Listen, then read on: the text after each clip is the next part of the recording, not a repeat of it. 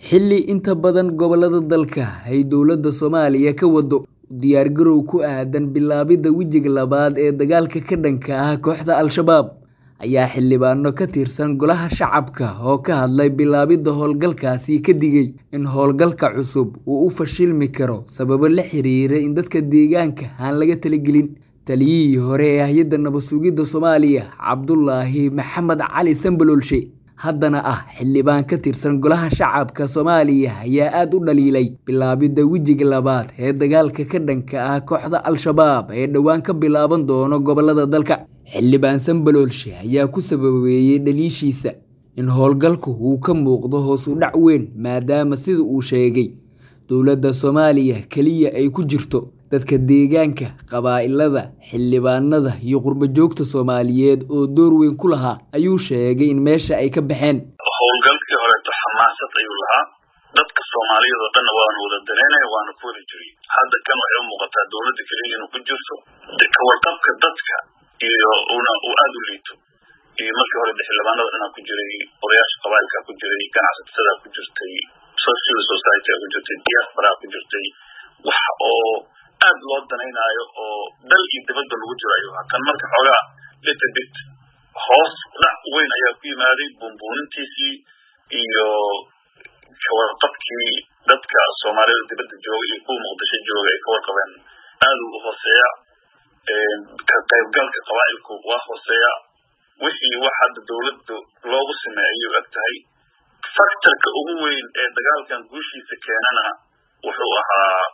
in shacabka iyo shabaab la iska hor keeno dagaalka marka maalintii dowladda liiska ay qaadanaysana dib u dhacyo iyo jabaa ka yimaada maalinta dadka uu hogaaminayana horumar iyo guulaa ka yimaada.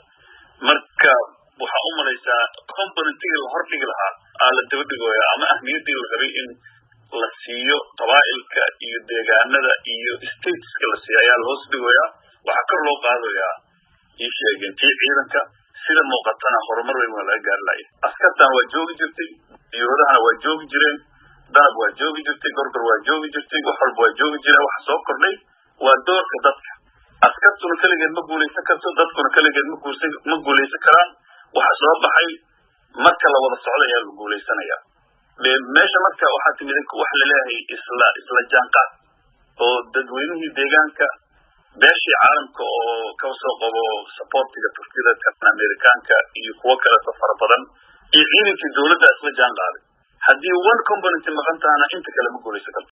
Geesta kale wasiirka wasaaradda gaashaandhigga ee dowladda soomaaliya cabduqaadir maxamed nuur jaamac ayaa ka jawaabay. Warka ka soo yeeray xildhibaan sanbalolshe isagoona sheegay in dowladda soomaaliya iyo dadka deegaanka ay howlgallada u wadi doonaan sidii ay ku wadeen wejigii koowaad ee howlgallada ka dhanka ah al-shabaab dadka deegaanka ayuu tilmaamay in dowladdu ay ka talagelisay u diyaargarowga wejiga labaad ee ka dhanka ah kooxda al-shabaab.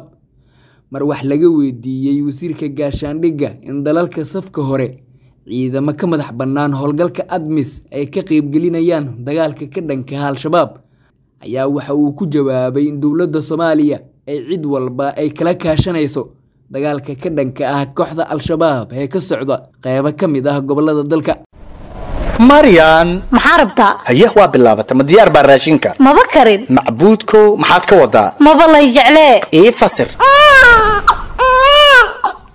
Ma rabtid noo oh haddaan ku fahmay. Marwa fertility center waa rumaynta riyadeenna. Kuma garan. Marwa waa xarunta keliya ee ka dhabayn karta riyadeenna. Afkaaga caano qabow lagu qabay